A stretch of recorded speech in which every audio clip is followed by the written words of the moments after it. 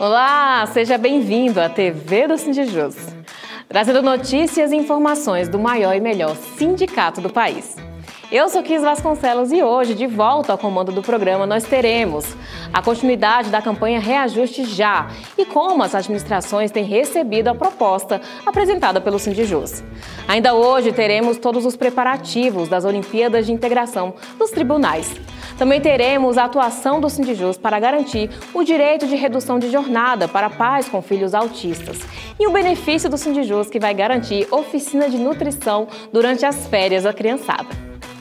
Tudo isso e muito mais aqui hoje na TV do Sintijus.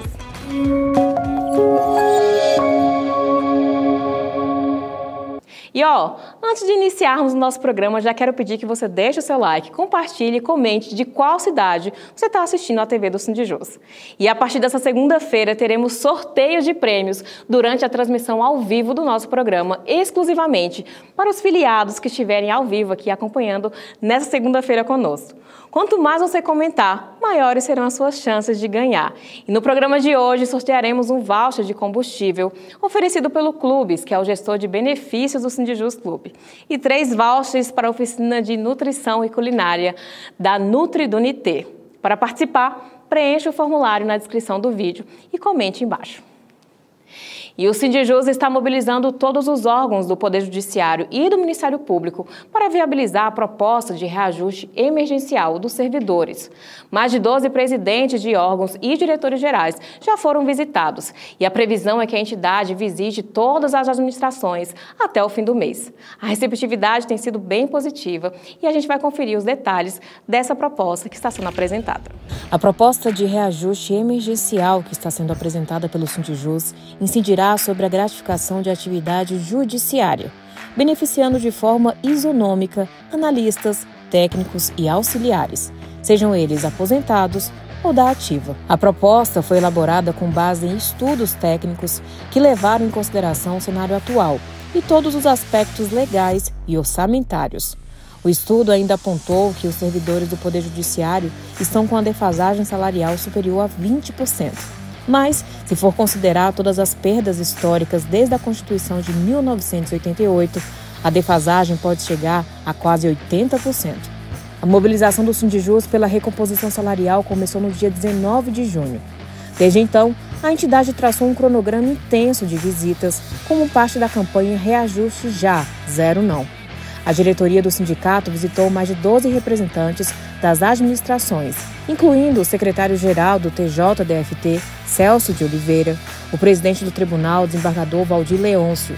A entidade também se reuniu com o procurador-geral do Ministério Público Militar, Clauro Roberto, o diretor-geral do MPM, Dr. Antônio Coutinho, o diretor-geral do Tribunal Superior do Trabalho, Gustavo Caribé. Além disso, o Sindijus encontrou-se com o diretor-geral do Supremo Tribunal Federal, Eduardo Toledo, e o diretor-geral do Superior Tribunal de Justiça, Sérgio Pedreira. Na última semana, a entidade conversou com o diretor-geral do Superior Tribunal Militar, general Lauro Luiz Pires, o diretor-geral do Tribunal Regional Federal da Primeira Região, Roberto Carlos de Oliveira, o presidente do TST, ministro Lélio Bentes, o diretor-geral do Tribunal Regional do Trabalho da Décima Região, Rafael Belinello, e com o primeiro vice-presidente do Tribunal de Justiça do Distrito Federal e Territórios, desembargador Roberval Belinati. A reposição é necessária para proporcionar o equilíbrio financeiro a todas as famílias. Se nós temos perdas, nada mais justo do que o sindicato propor a reposição.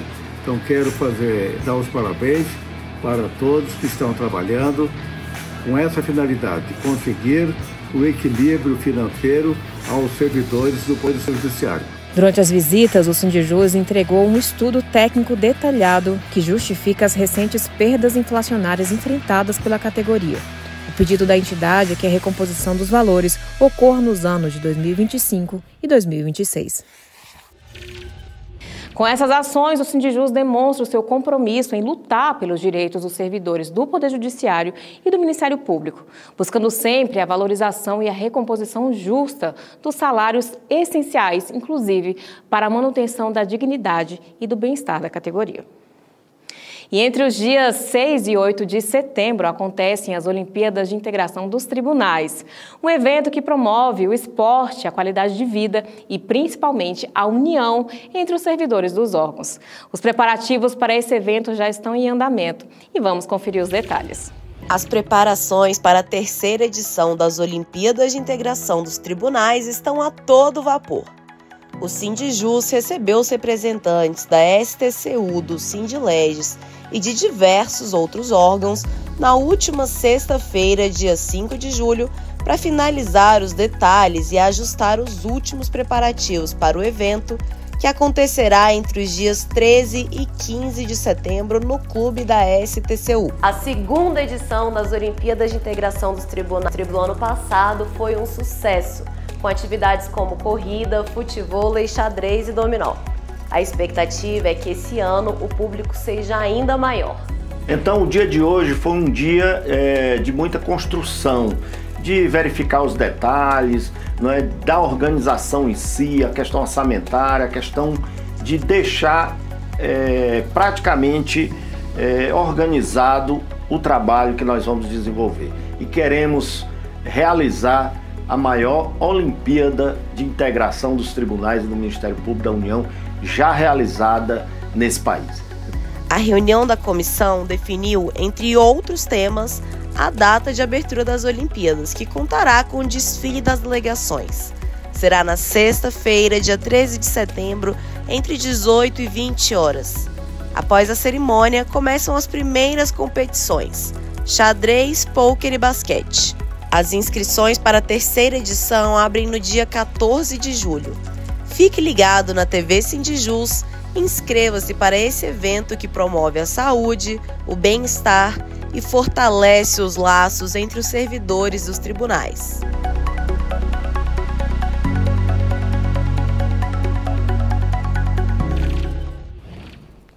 As inscrições para as Olimpíadas de Integração serão abertas em breve e divulgadas pelas entidades organizadoras, inclusive pelo Sindijus. E você, já deixou seu like, comentou no vídeo? Lembrando, quanto mais você comentar, maiores serão as suas chances de ganhar o voucher de combustível e outros prêmios. Pais responsáveis por crianças com transtorno do espectro autista que trabalham no serviço público têm direito à redução de jornada de trabalho sem desconto salarial para poderem se dedicar o tempo necessário com cuidado com os filhos. Mas como nem todos conseguem esse direito de forma administrativa, o Sindijus orienta seus filiados como proceder de forma jurídica. Tribunais em todo o país têm reconhecido o direito à redução da jornada de trabalho ou à flexibilização, sem redução de salário e sem a necessidade de compensação para servidores que são pais de crianças com transtorno do espectro autista. Com a entrada em vigor da Lei 12.664 de 2012, que alterou o parágrafo 3 do 8.112, passou a considerar então o transtorno de espectro autista como é, deficiência. Então, é, a partir desse momento, dessa alteração legislativa, foi possibilitado ao servidor que tem um filho com esse tipo de transtorno a reduzir sua jornada para acompanhar o tratamento e, eventualmente, acompanhar o desenvolvimento do seu filho. Essa redução pode ser entre 30% a 50% em jornada. Todavia, alguns servidores têm encontrado dificuldade de conseguir esse direito de forma administrativa. Por isso, o Sindijus, além de realizar reuniões para explicar a importância dessa redução de jornada para pais com filhos autistas, tem colocado assessoria jurídica à disposição para auxiliar os servidores que se enquadram nesse perfil. Basicamente, quando o servidor tem uma negativa administrativa, o que a gente pede para ele é que ele nos dê a cópia desse procedimento para que a gente avalie todos os documentos que foram juntados, como, por exemplo, é, o laudo clínico que atesta a condição do filho, atesta o grau de severidade do autismo, para que a gente consiga fazer o pedido judicial. Então, é extremamente importante que o servidor que vai fazer esse tipo de requerimento administrativo, ele, ele consiga é, se se proteger com documentos suficientes para que a administração pública não possa ter como negar esse direito. As ações movidas pelo Sindijus com essa temática têm obtido êxito, mas para isso é essencial que os filiados apresentem a documentação necessária para fundamentar o pedido. Isso inclui laudos médicos que atestem a condição e documentos que comprovem a solicitação de terapias. Vale destacar que o percentual de redução da jornada é proporcional ao grau de suporte necessário para o dependente. Portanto, quanto maior o grau de suporte, maior será o percentual de redução da jornada. É, o grau vai interferir na quantidade de horas da redução. Né? O judiciário entende que entre 30% e 50% da jornada pode ser reduzida. É, a gente teve um caso recente em que uma servidora tinha um filho com um grau de autismo bem severo e o juiz entendeu que ela deveria manter 50% desse período de, de teletrabalho ou de jornada reduzida, justamente pelo fato de que o desenvolvimento do filho dela dependia da presença exclusiva da mãe no dia a dia. E para os filiados que precisam entender melhor os direitos como pai ou mãe de um filho com autismo, e os recursos disponíveis, o Sindijus coloca à disposição advogados especializados que podem fornecer informações personalizadas e ajudar a lidar com questões legais específicas. Basta entrar em contato com o Sindijus pelo telefone 61 3212 2613 e agendar o atendimento. Reforçando que os filiados do Sindijus têm direito à assessoria jurídica gratuita, prestada por um dos maiores escritórios do país. E na última quarta-feira, dia 3 de julho, foi lançada a Frente Parlamentar Mista em defesa e valorização das polícias institucionais.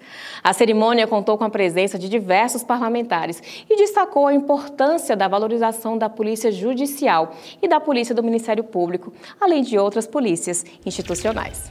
Valorização, fortalecimento e união de esforços.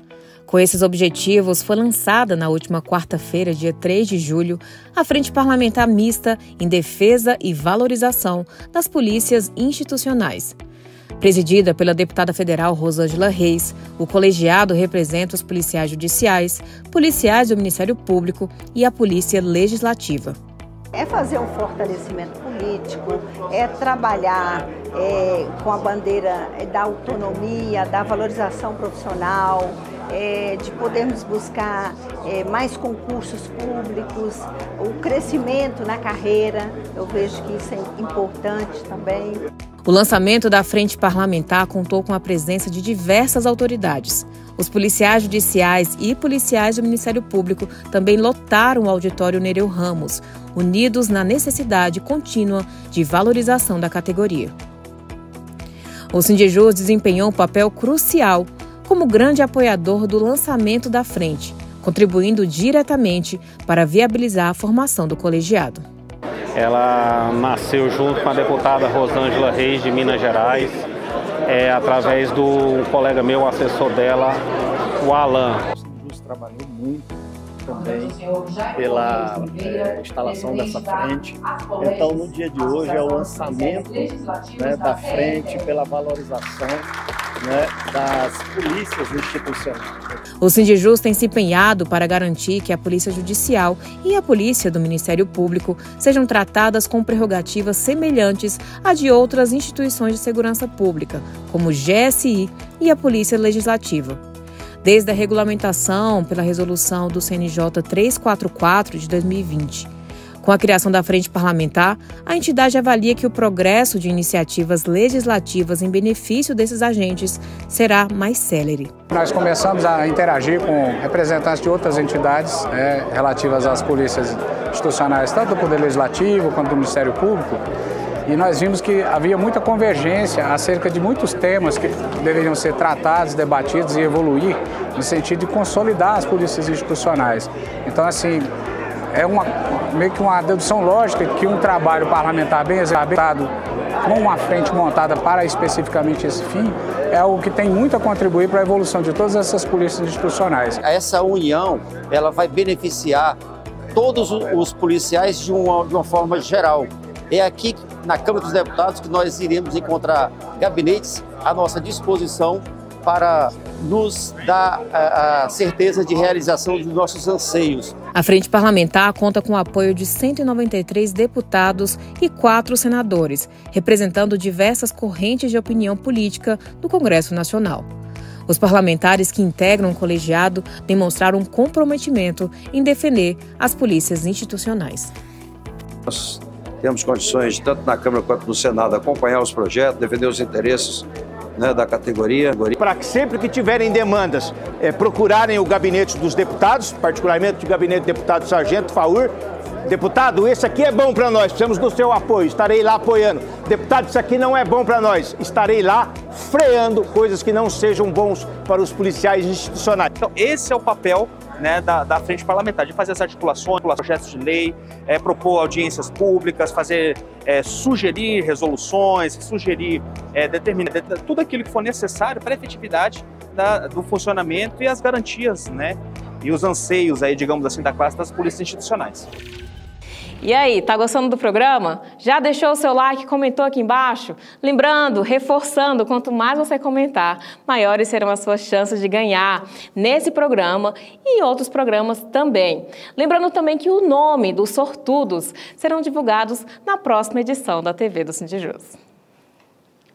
E as férias chegaram com elas a preocupação dos pais em deixar os filhos em lugar seguro e, ao mesmo tempo, com atividades saudáveis. Por isso, o clube, gestor de benefícios do Sindijus Clube, firmou parceria com a Nutri do Unité, que vai oferecer oficinas de nutrição e culinária infantil. E eu fui de perto conferir esse projeto. Com olhos atentos, sorriso no rosto e mãos na massa, literalmente, essas irmãs de 9, 11 e 15 anos estão aprendendo na prática a importância de uma alimentação saudável. E o melhor, de forma divertida, enquanto aprendem a cozinhar refeições práticas e rápidas. No, na correria do dia a dia é bom, né? Fazer uma coisa que é prática e né, pra não passar fome. Eu tô gostando muito, principalmente porque eu tava tentando melhorar minha alimentação mesmo, adaptar pra nossa rotina, né, que é muito corrida. E também porque eu gosto muito da parte científica dessas coisas. Então, quando ela falou da função de cada alimento, o que, é que eles desempenham no nosso corpo, eu achei bem legal. Nessa oficina da Nutri do Nité, na 610 Sul, em Brasília, o objetivo é ensinar as crianças a se alimentarem de forma mais saudável. Além de elaborar planos alimentares, a nutricionista do espaço ensina na prática como preparar refeições nutritivas, focando na redução do açúcar e no aumento da ingestão de vegetais e frutas. Eu percebi, quando eu fiz a minha primeira oficina culinária de nutrição com as crianças, que elas aprendiam muito mais colocando mão na massa, aprendendo, escutando sobre os assuntos de nutrição do que o material né, que eu enviava para os pais. Então, as crianças, como protagonistas da alimentação delas, elas conseguem ter um resultado maravilhoso. Durante as oficinas, além de prepararem refeições, as crianças aprendem sobre a função de cada alimento no corpo. Utilizando jogos, leituras e dinâmicas, são educadas a escolher os alimentos mais saudáveis, que proporcionam energia para crescerem saudáveis e fortes. A maioria das coisas que ela ensinou não sabia, né? Tipo, dos reguladores, dos energéticos, dos, dos legumes, dos vegetais, dos. É, dos reconstrutores. É, isso, não sabia. Durante as férias das crianças, a Nutri do Unité está promovendo oficinas culinárias temáticas, oferecendo uma oportunidade única para aprenderem sobre alimentação saudável. Cada aula se concentra em um tipo específico de alimento.